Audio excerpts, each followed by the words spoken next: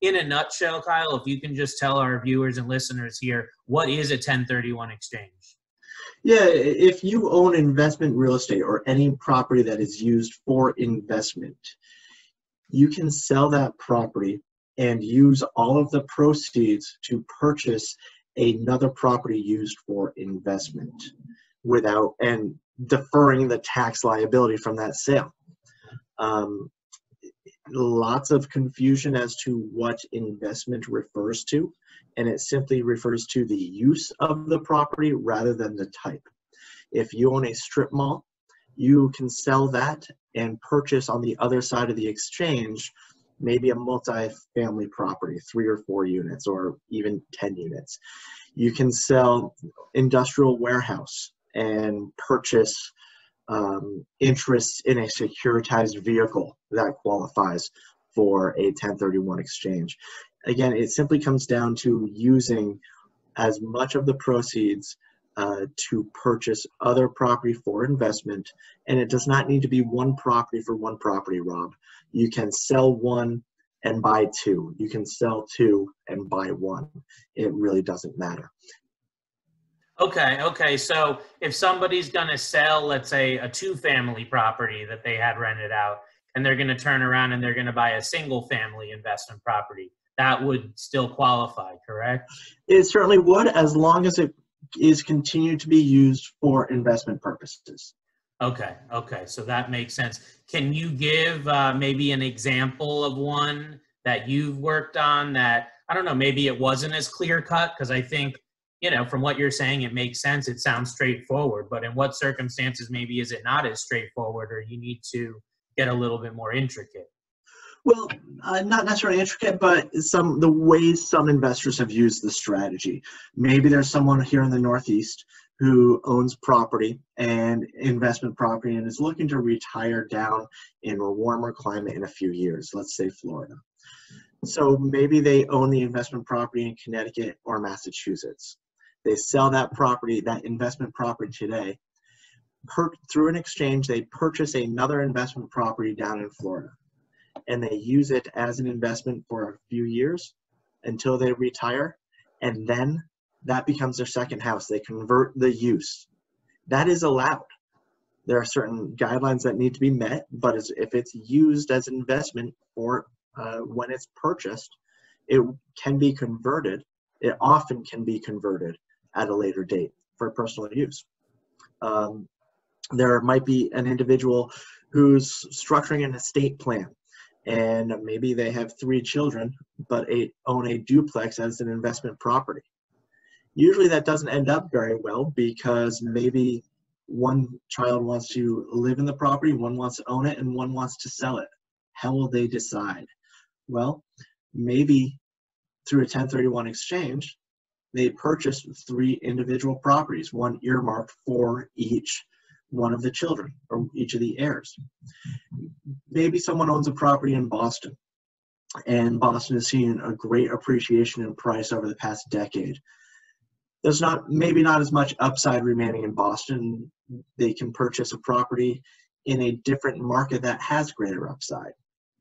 Or maybe they've owned that property for the residential property for 27 and a half years and fully depreciated it. So they cannot offset any more of that income that is uh, uh, income paid from that property. So they might conduct an exchange and buy a larger property. Um, this is just one slide we often discuss as to why someone would sell through an exchange. There are plenty of other reasons and conversations, but certainly capital gains tax deferral is one. It's not the only reason for it. Um, maybe it's you know preservation of capital. The estate planning want to diversify their investment portfolio into other asset classes or property types or locations, um, or even increase that cash flow. I think it is important to note that anyone conducting a 1031 exchange can buy property anywhere within the United States. It is okay. A, it is okay. within the federal tax code. So as long as yeah, so it sounds pretty flexible. I mean, overall, as long as you're going from one the same property type, it's pretty flexible. Can you give maybe uh, an example of a downside to doing a 1031 exchange or a, a negative on why you wouldn't want to do a 1031 exchange. I mean, obviously, if you're trading in an investment property to buy a primary home, I, can see that that wouldn't work as a 1031 exchange. Mm-hmm. Or if you're selling your primary home to buy an investment property, maybe that wouldn't work. But can you talk about a scenario where there would be a negative connotation associated with this? Uh, certainly, Rob. And this is coming up more and more every day the conversation of what's going to happen with tax rates in the future. A lot of individuals and media reports are saying tax rates are only going to go up. A lot of it could lie on the election three months from now, what the outcome is, but it could also just rely on the printing press that uh, has been coming out of Washington and what will happen with the federal budget. So that is caution a lot of individuals provide. Now, there are two sides of the coin here. Yes, rates could go up in the future. So how about I sell, pay my taxes on a lower rate today rather than exchange and then have a higher rate in the future? The answer to that is you can continue to exchange throughout your life.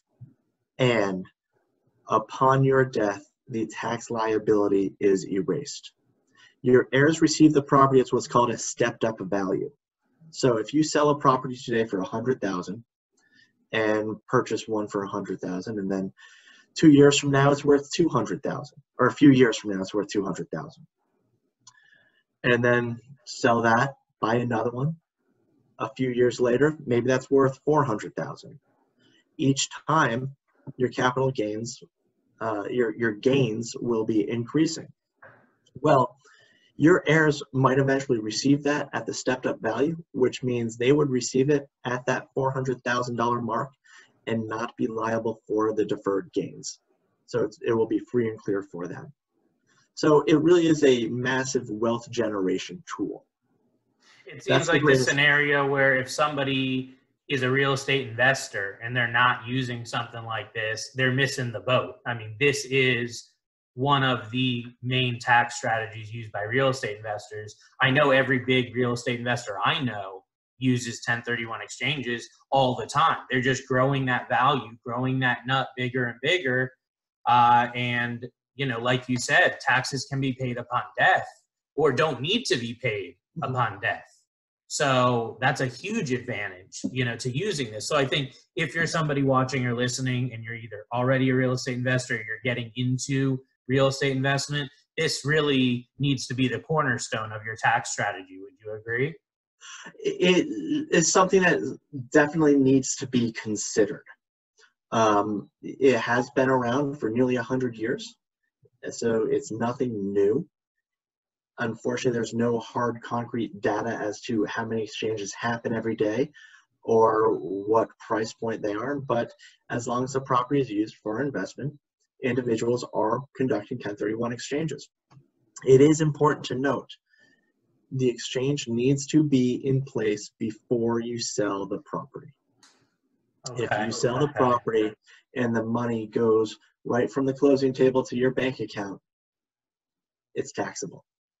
So, so this is going to be something that needs to be planned ahead for. You need to consult with your uh, financial advisor, tax advisor, CPA, you know those type of individuals will need to be involved in drawing the correct paperwork up making sure that the transaction happens in the correct order in the correct way in order to actually do this the right way so you don't end up getting hit at the end with a bunch of taxes that you thought you wouldn't have if it's done incorrectly yeah correct rob and i think when it comes down to your financial advisor and tax preparer or accountant or tax advisor or lawyer yes they will help review if it is a suitable strategy for you.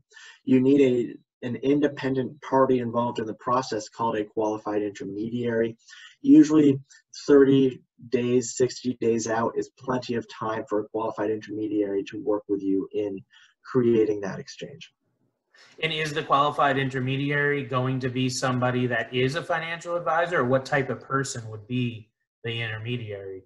Yeah, it, depends on the state. Um, it is only regulated in a few states. Uh, they do need to be licensed in Connecticut to act as a qualified intermediary. There are exemptions that do uh, prevent them from registering with the state. Um, it's an independent third person who you have not had a direct business relationship with. There are plenty of individuals who operate exclusively as a qualified intermediary. Your Okay. financial advisor, your accountant cannot be your qualified intermediary Okay. Hopefully they can help direct you to one that they know. If not, Excellent. I always there are a few I work with as well. Yeah, so you'll want to consult with them to get that taken care of, to get that intermediary lined up, so to speak. Like Kyle said, 30 to 60 days before the closing of the transaction should be plenty of time. Um, I would recommend as soon as the your property goes under contract, I would recommend that you get all these in, things in play. This isn't something you want to be dealing with at the 11th hour. Yeah, and, and Rob, uh, I would even say before you go under contract, simply because you don't want to have to go back and amend all the documents. You'll need a couple statements within the P&S. Okay, okay, that makes sense. All right, well, we've uh, given you guys kind of that overview on 1031 exchanges, so I want to switch gears here now and move